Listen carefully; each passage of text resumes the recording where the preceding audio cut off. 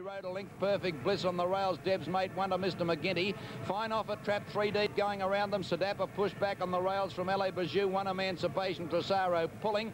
Two to Albany Bay and Kiwi Slave at the thousand.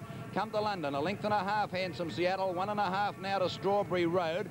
They were followed uh, then on the outside uh, by Perfect Bliss, Deb's mate, the rails, Mr. McGinty in the centre of that bunch of horses.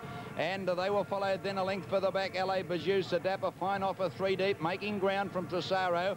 Emancipation second last, she's not going well. Albany Bay inside her and, and last Kiwi Slave.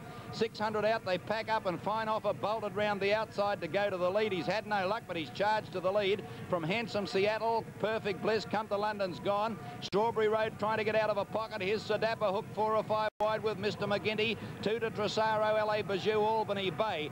Emancipation's last on the corner. Fine offer and Handsome Seattle. Mr. McGinty and Sir Dapper and Strawberry Road. They're all out and after the leaders on the corner now. It's uh, Strawberry Road dashing to the lead from Fine Offer. Then Mr. McGinty beaten from Sir Dapper, but Strawberry Road, goodness, he's a different horse today. He's going to walk in. Kiwi Slave coming from last, going to run second. Strawberry Road's won it by four lengths. Second, Kiwi Slave. Third, Mr. McGinty. Fourth, Handsome Seattle from Sir Dapper. Deb's mate, fine offer. Then Perfect Bliss, Albany Bay, LA Bijou. Emancipation's beaten two home.